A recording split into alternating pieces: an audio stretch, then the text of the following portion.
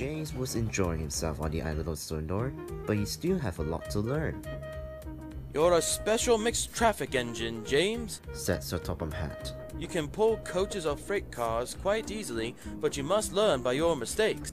James knew what Sir Topham Hatt meant. He can well remember that dreadful accident he had on his first day, Be careful with the coaches, James. said kind little Edward. They don't like being bumped. Everyone came to admire James. I'm a really splendid engine. He thought, and suddenly let off steam. A shower of water fell on Sir Topham's nice new top hat. Oh, yuck! Just then, the conductor blew his whistle, and James thought they had better go. Go on, go on. He puffed to Edward. Don't push, don't. Replied Edward. The coaches were grumbling too, Don't go so fast! Don't go so fast! but James didn't listen.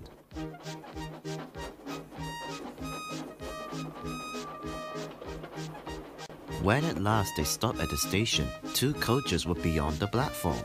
They have to go back to let the passengers out. But no one seems to know Sir Topper's new hat, so James felt happier. Presently, they came to the station where Thomas was waiting with his two coaches.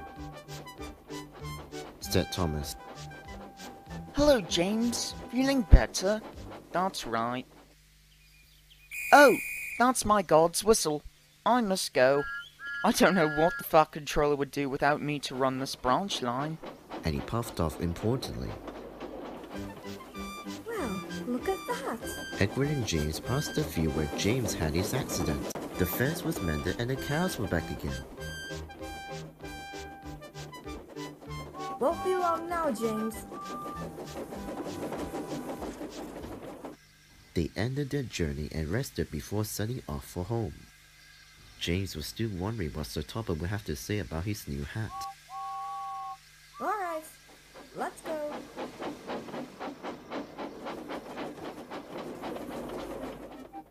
Next morning, he spoke severely to James. If you can't behave, I shall take away your red coat and have you painted blue. James didn't like that at all.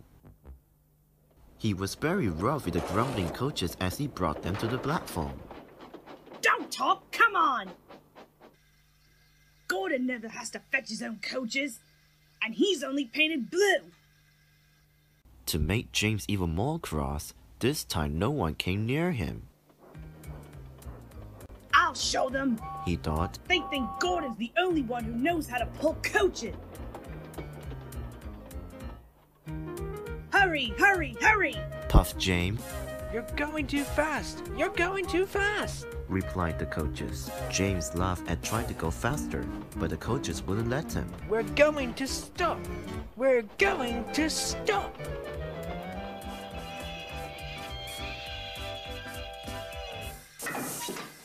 What's the matter? James asked his driver.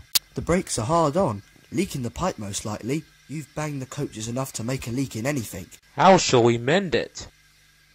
We'll do it with newspaper and a leather bootlace. Replied the driver. But where is the bootlace coming from? Asked the conductor. Ask the passengers. Said the driver. You have a leather bootlace there. Said the conductor to a smartly dressed man. Please give it to me. I won't. Said the man. Then I'm afraid the train will just stop where it is. Said the conductor.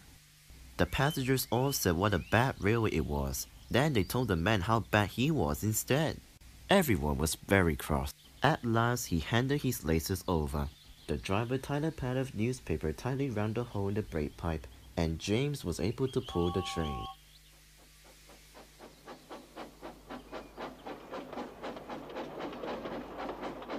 But he was a sadder and wiser James, and took care never to bump coaches again.